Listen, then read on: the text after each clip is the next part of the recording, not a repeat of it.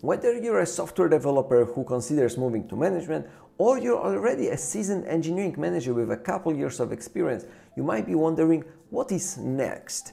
What are the career options? What is the career path for engineering managers? After you lead the team for a couple of years, what happens then? In this video, I will share with you a number of options that engineering managers have, and let's talk about them. My name is Gregory, you're watching Not Only Code. Let's start. When you start your career in software development, the first couple of years are usually quite straightforward. You start as a junior developer, then you move to mid-level, then you become a senior developer. At the senior level, you can decide to stay there. You can choose just to continue your career as a senior developer.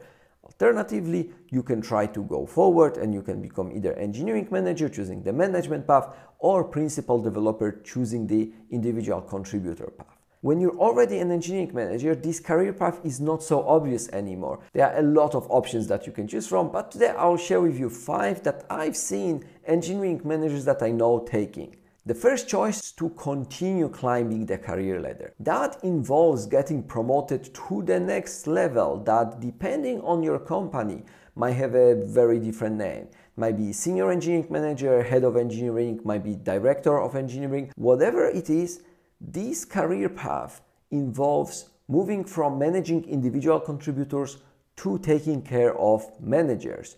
So now your direct reports will not be programmers, will be engineering managers, and you will be responsible for a larger number of teams. This might involve a whole department in the company, it might involve sub-department.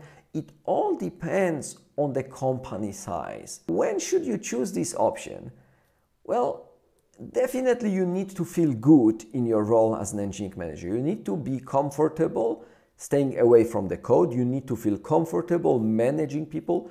You need to be willing to focus more on high level, more strategic goals. If you want to take more responsibilities, if you're fine with doing more strategy, if you're fine with taking a bigger role, with larger scope of responsibilities, with a larger area of influence, then moving up is definitely something for you.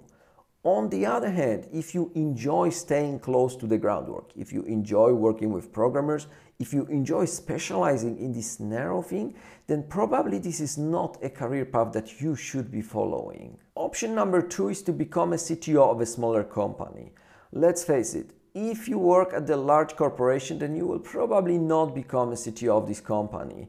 If you have a thousand developers in your company, then maybe you have 100 engineering managers. Maybe you have 10 or 20 directors. Maybe you have two or three VPs of engineering, but there's just one CTO. One CTO after, out of more than a thousand people. Most of the CTOs are CTOs of small companies. And this is an alternative career path. As a CTO, you will be responsible for everything related to the tech in the company. You will be responsible for all the managers and eventually accountable for all the developers in the company. But also you will be very strongly involved in working with different vendors, in working with the top leadership of the company like CEO, CPO, etc you will potentially get involved in the clients, especially if your company sells a tech product, especially if this company works with big clients, CTO might need to join the meetings. You might eventually become a board member of the company. This option naturally looks similar to the previous one, but the scope of work of CTO is much, much broader. As a director of engineering, you are still staying within your area of expertise as a CTO, you manage everything related to tech, even things that you have absolutely no idea about. I've never worked as a CTO myself, but for a couple years I worked very, very closely with the CTO of the company where I worked at. And for a number of years I observed what he was doing, what he was responsible for. And let me tell you that it was a big challenge for him. Coming from software developer background, he had a lot of the technical skills, but the number of things that he had to learn in a very short period of time was just astounding. If you look for something very challenging, if you look for something that will allow you to take a broad, very broad scope of work, then this option, then becoming a CTO might be a perfect fit for you. When shouldn't you do it? Well, as a CTO, you will be responsible for tons of things, and a lot of these things will be outside of your expertise. You will have to delegate a lot. You will have to trust a lot of people. You will not be able to manage everything. On the other hand, you will have to do a lot of stuff that you do not enjoy. Maybe you do not like talking to customers. Well, bad luck, you have to do it. So there are a lot of challenges and difficulties related to being CTO. It's also a very stressful role. Still, if you're up for a challenge, I think that being even for a short period of time a CTO has a lot of value because it teaches you a lot a lot of different things about running a company, especially understanding the business perspective. Option number three is to become a consultant. Freelancing is not reserved for engineering managers. This is something that you can do already as a software developer, but now having the management experience, having the expertise in leading people, you can become a consultant who doesn't necessarily specialize in one technology, but can help companies with larger scope of things. When I was a developer, I did some freelancing and I specialized in Ruby and JavaScript. Now, if I become a freelancer, I can help companies with hiring, I can help with building company culture, I can help with introducing remote work, with building offshore teams, with a number of different things that I had taken before as an engineering manager and that I can now help the companies around me to succeed in. When should you do that? Well, if you value flexibility, if you're tired of the corporate culture and you want to become independent, and if you enjoy shortened assignments, if you want to work with different customers, if you want to work on different projects, different challenges, then going independent, becoming consultant might be a great option for you. You will have a chance to learn a lot about different working cultures. You will have a chance to work with different groups, and your projects will usually last a couple months to maybe a year. If you are okay with that, then that might be a good choice for you. When you shouldn't do that? Well, being a consultant means that you have to sell your expertise. You have to find customers. Sometimes it will take just 5% of your time, sometimes it will take 20% of your time. You have to feel comfortable talking to people in lots of different environments. Maybe you've been a manager at a startup, but now some of your clients will be corporate. Maybe they will be traditional companies from, you know, non-tech industries. Working with these different types of customers might be frustrating. And if you do not enjoy that, then you shouldn't do it. As a consultant, you're losing this comfort of having a stable job, the benefits that come with working at a larger company. And of course, you get a lot of freedom, you get a lot of flexibility, but it is more risky, it is less stable position. So that's what you should consider. Option number four is to stay in the engineering manager role but move horizontally. Every two years or so, you can jump to another department. You can lead a different team. You can learn a lot about the new domains. A couple years ago, I used to manage teams of backend and front-end developers that were working on rather typical web applications. Later, I moved to cybersecurity and currently I work in infrastructure.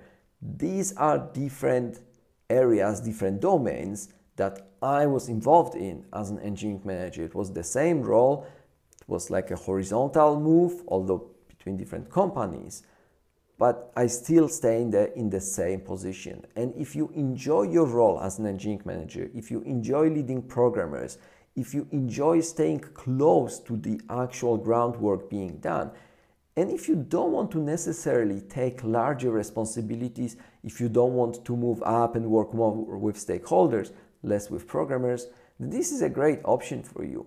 I think that it is actually very interesting to stay at the same level of responsibilities, to just decide, okay, this is my career level, I'm fine with that, but I still want to learn different things. And you can move between DevOps and machine learning and front end and yet other things. As an engineering manager, you have this combination of the general skills, the management skills that can be applied basically in any domain, and technical skills. And this combination should allow you to move between different specializations quite easily.